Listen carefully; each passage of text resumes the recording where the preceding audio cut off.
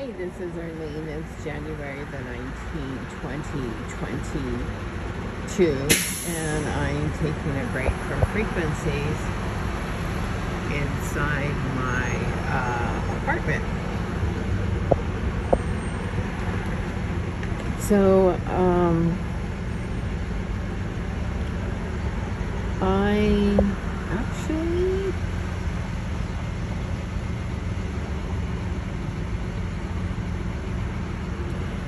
have frequencies descending down from the ceiling uh, oh, and also got targeted in the face so my face is kind of burning and swollen right now.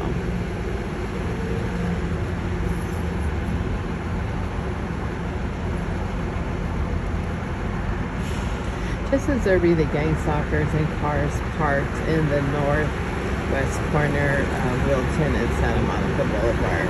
So far, three have left.